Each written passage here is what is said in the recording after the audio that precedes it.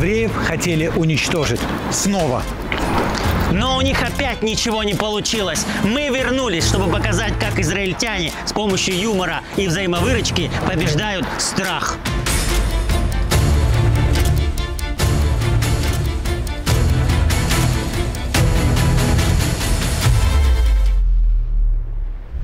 Пинхас, ты помнишь, с чего началась война? С огромных очередей? В аэропорты? Нет, в пункты сдачи крови и на военные базы. Только в Израиле могут образоваться пробки на войну. Сотни тысяч добровольцев и резервистов разом призвались на службу. Я слышал о каком-то секретном еврейском тайном оружии в Сдаке, и что оно покруче любых ядерных ракет. Вова, ЦДК – это благотворительность или краудфандинг.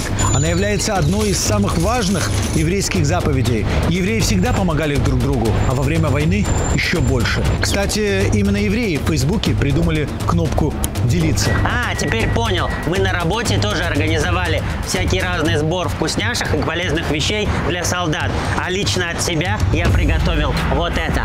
Вау, для поднятия боевого духа? Э, не совсем. Это чтобы эффективнее было допрашивать. террористов из Хамаса. И сами станем мы как пончики Жирные и сочные yeah. Первый обзор бомбоубежища от Пинхаса и Вовы. Дизайн 6 из 10. Безопасность 10 из 10. Приятные разговоры 12 из 10. Эффективность молитв плюс 500 процентов. Удивительно, что собрание жильцов смогли организовать только террористы. Да, жильцы встречаются только в бомбоубежище, когда слышат сигнал воздушной тревоги. Наш железный купол сбивает все ракеты террористов, но есть обломки, которые могут упасть рядом со зданием, поэтому осторожность никогда не будет лишней. После того, как мы слышим сигнал воздушной тревоги, у нас есть очень небольшое время, чтобы добраться до бомбоубежища. Для жителей центра это примерно полторы минуты. М, В принципе, достаточно времени, чтобы взять все необходимые вещи. Э, Первого ребенка, третьего, четвертого, ну так уж и быть, второго. А вот жителям севера и юга намного сложнее. Вот нашего продюсера Влада есть всего лишь 15 секунд добежать до бомбоубежища. Я очень боюсь, что он станет великим легкоатлетом и убежит от нас. Подожди, Влад живет на севере, а Хамас же на юге. Да, а на севере им помогает Хизбалла. Их ракеты уже долетают до центра страны, а ракеты Хамаса долетают до севера. Ждем не дождемся, когда они начнут обстреливать друг друга и оставят Израиль в покое. Сейчас такое время, что каждый помогает друг дружке, но главные герои – это наши жены, которые успокаивают детей. Они и нас успокаивают тоже.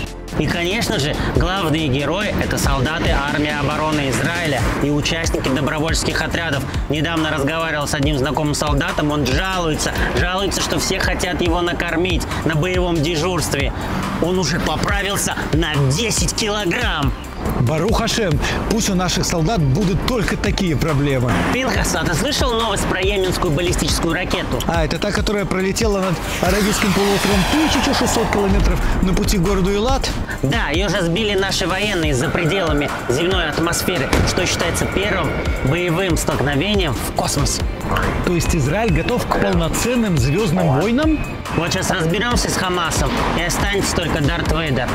Но на самом деле Израиль хочет мира, любви, песен, танцев, а, жить весело, праздновать эти праздники, но и вкусно покушать.